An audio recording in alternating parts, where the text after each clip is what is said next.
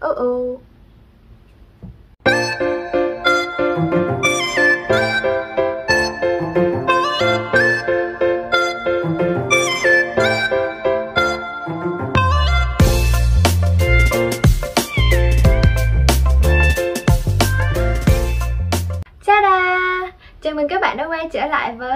với Chân Channel Thì Trân đã quay trở lại với các bạn rồi đây. Và theo như tiêu đề thì ngày hôm nay Trân sẽ chia sẻ ba thứ vô cùng quan trọng đối với Trân và đặc biệt đối với con gái chúng ta. Thì nếu như mà bạn nào muốn biết ba thứ đó là thứ gì thì hãy xem hết cái video này của Trân nha.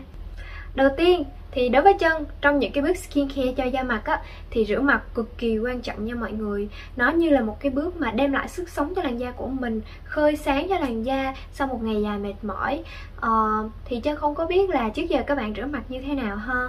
Ờ, nếu như mà các bạn chỉ dành thời gian vào cái việc uh, tìm tòi rồi xem cái sản phẩm nào nó phù hợp với làn da của mình thành phần của sản phẩm đó ra sao nhưng mà các bạn quên đi cái thao tác khi mà các bạn rửa mặt trên da thì nó cực kỳ quan trọng luôn. Nó uh, nó là một trong những cái bước mà giúp cho làn da của mình lấy đi những cái cặn bã này uh, ờ, những cái dầu thừa nè rồi những cái bụi bẩn ở trên da. Nếu như mà trước giờ các bạn chỉ rửa mặt kiểu như cho qua loa thôi á kiểu sao sao sao sao?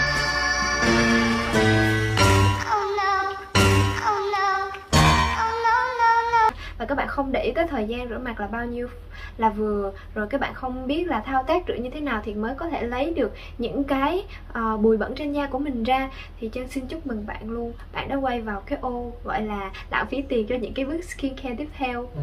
ánh nắng nó có thay đổi một chút xíu nên các bạn thông cảm nha. Thì uh, hôm nay chân sẽ chia sẻ cho các bạn một cái đồ vật mà nó cực kỳ hữu dụng cho cái việc rửa mặt luôn vì là Trang đã sử dụng cái máy rửa mặt này trong một thời gian rất là dài luôn Cho nên các bạn có thể yên tâm về cái review của Trang ngày hôm nay nha. Đây là một cái máy rửa mặt có tên là Pebble Lisa Gen 5 Và Trang vừa được tặng gần đây.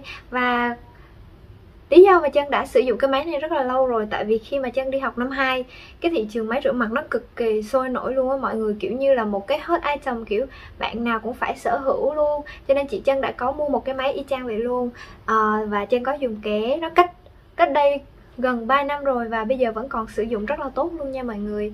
Thì Trang không nói dài dòng nữa bây giờ Trang sẽ nói ra những cái ưu và nhược điểm của sản phẩm này cho các bạn xem nha. Đầu tiên là về ưu điểm. Thứ nhất là về giá thành. Trang nghĩ đây là một yếu tố cực kỳ quan trọng luôn nè. Nếu như mà chúng ta vừa bắt đầu uh, sử dụng máy rửa mặt để xem nó có phù hợp với da của mình Cái làn da của mình nó uh, có bị kích ứng hay là nó có uh, xảy ra cái vấn đề gì không á thì cho nghĩ là mình nên đầu tư một cái máy nó có cái giá rất phù hợp hơn. Rồi nếu như mà các bạn có điều kiện á thì các bạn có thể đầu tư những cái máy đắt tiền hơn vào khoảng thời gian sau. Khi mà các bạn thấy là sử dụng máy rửa mặt nó rất tốt cho da của mình. À, thì về cái giá của cái sản phẩm này là chỉ có 630 nghìn cho một cái như vậy thôi. Và nó sử dụng rất là bền luôn nha. Và chân thấy là cái mức giá này nó cực kỳ phù hợp cho cả các bạn học sinh và sinh viên nữa về cái ưu điểm thứ hai của cái sản phẩm này đó chính là nó cực kỳ bền luôn. Thì như các bạn cũng nghe chân nói rồi là chân đã biết cái sản phẩm này cách đây 3 năm và đến bây giờ nó vẫn còn sử dụng được. Không chỉ là chân trải nghiệm mà đến bạn của chân cũng có mua cái sản phẩm này nhưng mà màu xanh minh chân sẽ đưa cho các bạn xem. Ở đây nè. Nó màu xanh minh và cái sản phẩm này đã sử dụng được 2 năm rồi và bây giờ nó cũng còn, nó còn sử dụng nó cực kỳ tốt luôn. Nói chung là về cái độ bền của cái sản phẩm này thì chân đánh giá rất là ok nha mọi người. Và cái ưu điểm thứ ba là về cái sạc pin. Thì thường thường các bạn cảm thấy rất là kiểu phiền khi mà mình sử dụng mà pin nó nhanh hết và chúng ta phải đi sạc mất thời gian đôi khi mình quên á. Nhưng mà đối với cái máy này chân không biết tại sao ờ, cái nơi mà người ta bán thì người ta nói là 3 tháng thì sẽ sạc một lần nhưng mà cái máy này xài một năm.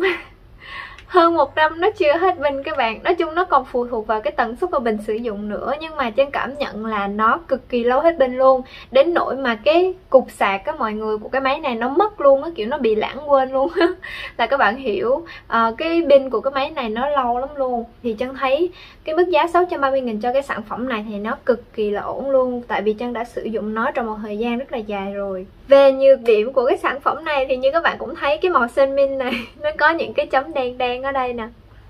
Lý do là vì mình bảo quản nó không có tốt các bạn không nên để trong phòng tắm. Đặc biệt là các bạn hay tắm bằng nước nóng á, thì cái hơi nước nó sẽ bốc hơi và nó bám vào cái sản phẩm này. Hoặc là khi các bạn rửa mặt xong mà ở trong cái cái phòng kính á, thì nó sẽ không có được khô thoáng thì nó sẽ bị mốc đen như vậy nè. Và không có cái gì có thể rửa ra được luôn mọi người chứ không biết nữa.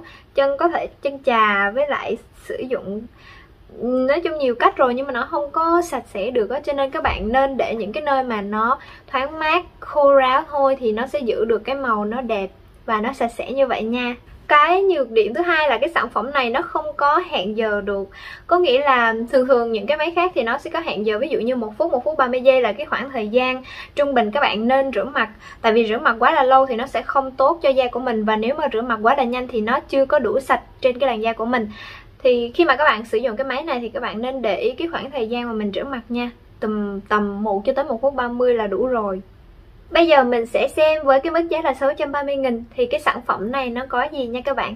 Đầu tiên là về cái chất liệu, đây là silicone, người ta gọi là adhesive silicone, đây một cái loại silicone mà nó có thể kháng khuẩn, chống những cái vi khuẩn mà nó bám lên cái sản phẩm này và nó lên cái làn da của mình thì sẽ không tốt.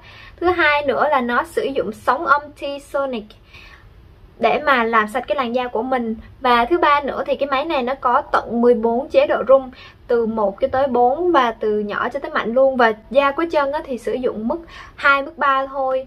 Chân khuyên các bạn nên sử dụng cái mức nhẹ trước nha, để xem cái da của mình nó có bị kích ứng và nó có thích nghi được không với cái máy rửa mặt. Và sau đó mình sẽ tăng dần lên đến cái mức mà phù hợp.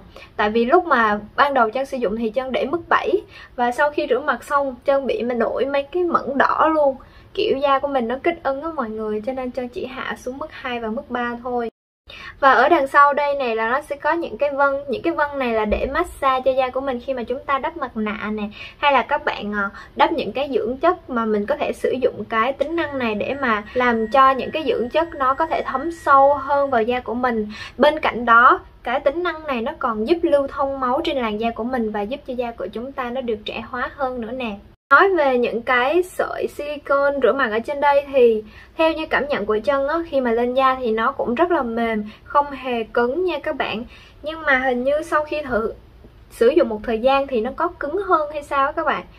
Đây là cái mới nè, tân chân vừa được tặng Còn đây là cái mà sử dụng sau 2 năm Thì nó có cứng hơn một chút xíu thôi Nói chung là Cái độ cảm nhận thì cũng không rõ lắm Nhưng mà khi mà mình xoa xoa thì nó vẫn có cứng hơn một chút xíu thôi nha các bạn.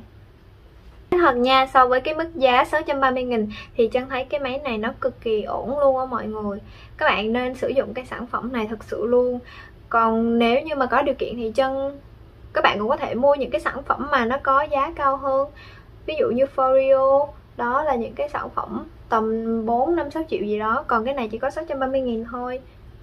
Rất là phù hợp cho các bạn học sinh sinh viên luôn nè và cái đồ vật thứ hai mà Trang cảm thấy nó cực kỳ quan trọng đối với chân đó chính là ta bàn chải điện. Thì đây là một cái bàn chải điện đến từ thương hiệu Xiaomi màu trắng cực kỳ xinh xắn luôn. À, thì cái bàn chải điện này chân đã sử dụng gần 3 năm rồi mọi người. Có thể thấy là nó cũng rất là bền luôn. Và cái đợt đó chân mua là gần 1 triệu 2 một cái nhưng mà bây giờ giá nó giảm rồi mọi người. Chỉ còn gần 900 ngàn một cái như vậy thôi và cái khoảng thời gian sử dụng thì rất là lâu luôn. Cho nghĩ là các bạn nào cũng nên đầu tư không kể cả bàn nữ mà cả bàn nam cũng vậy luôn. Tại vì à, khi mà sử dụng cái bàn chải điện xong á mà quay lại cái bàn chải bình thường thì chân cảm thấy chân không quen mọi người kiểu cái bàn chải thường nó không có sạch hoàn toàn.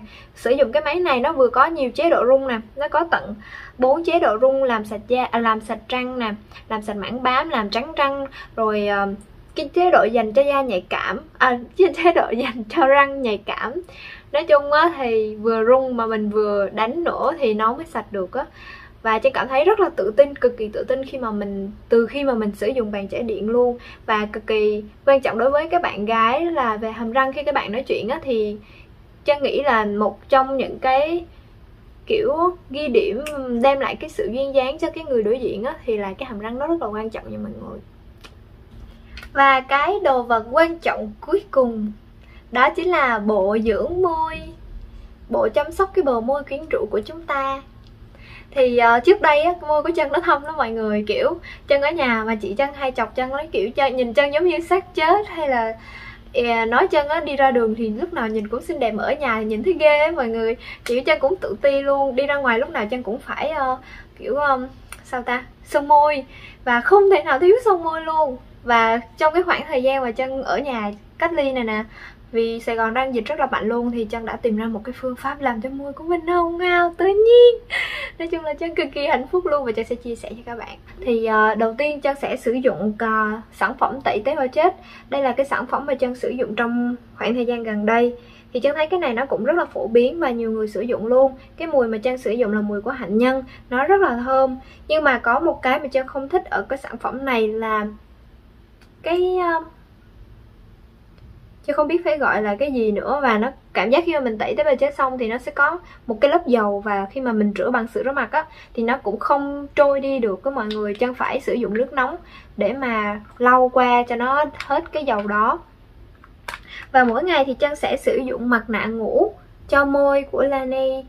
Thì các bạn có thể sử dụng những cái sản phẩm nào mà nó có thể uh, cấp ẩm đủ ẩm cho cái môi của mình hàng ngày thì cái môi của mình thì nó mới căng mọng được và những cái tế bào chết nó sẽ được làm mềm và nó có thể dễ bị bong ra hơn.